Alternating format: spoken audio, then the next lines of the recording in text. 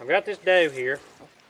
If any of you all know anything about video games, Red Dead Redemption, it's a cowboy game and you shoot a lot of animals on there. You kill deer and it's pretty accurate the way stuff happens on there. But one thing, whenever you, whenever you shoot a deer, you can just go right up to it and pick it up and put it over your shoulder and carry it to your camp or whatever without gutting it or nothing.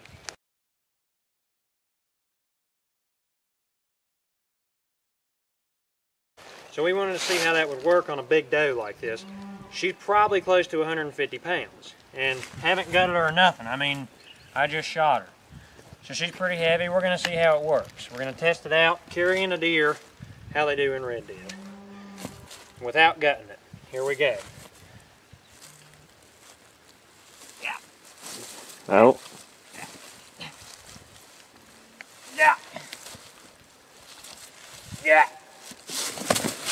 I don't think it's going to work.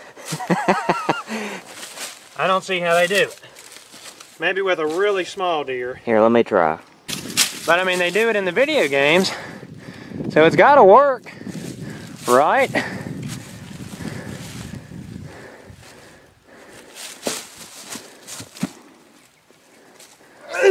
I don't think it's going to work. I don't think I can. Well, let me try gutting her.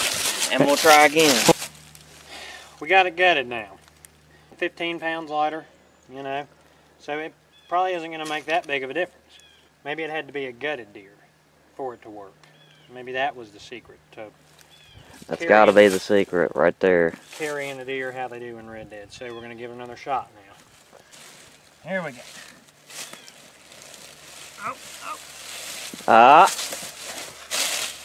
Oh, shit! There we go. Let's get her on the horse. Ah, ah. Let's get her on the horse. That made the difference. So that's how you carry a deer, Red Dead style. I can't carry it for too long or too far. You better have your horse close. Better have your horse close. So you gotta have it gutted. Good night. That's how you carry a deer, Red Dead style. Ugh.